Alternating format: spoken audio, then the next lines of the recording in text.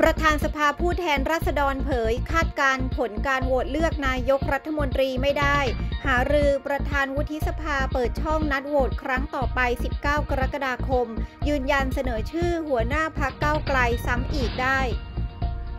ผู้ว่ากทมสั่งทุกเขตกำหนดเป้าหมายในปีที่ 2 รวม 20 เรื่องเช่น ถนนสวย ปลูกต้นไม้ลานต้น เพิ่มสวน ปรับปรุงทางเท้า ไฟแสงสว่าง จุดน้ำท่วม จราจรฝืดนำข้อมูลชุมชนเข้าระบบออนไลน์ ดูแลการใช้งบ 200,000 บาทต่อชุมชน เน้นเรื่องเส้นเลือดฝอยผลักดันให้เป็นรูปธรรม กรมควบคุมโรคเตือนประชาชน ควบคุมและป้องกันโรคไข้เลือดออก หลังพบครึ่งปีมีผู้ป่วยสะสมสูงกว่า 27,000 ราย โดยเฉพาะเดือนกรกฎาคมเป็นช่วงที่พบผู้ป่วยสูงสุดกรมชลประทานวางแผนจัดสรรน้ำรับมือเอลนิโย เน้นเก็บกักน้ำในเขื่อนและแหล่งน้ำให้ได้มากที่สุด ขอทุกภาคส่วนประหยัดน้ำ ป้องกันปัญหาขาดแคลนน้ำที่อาจเกิดขึ้นในอนาคต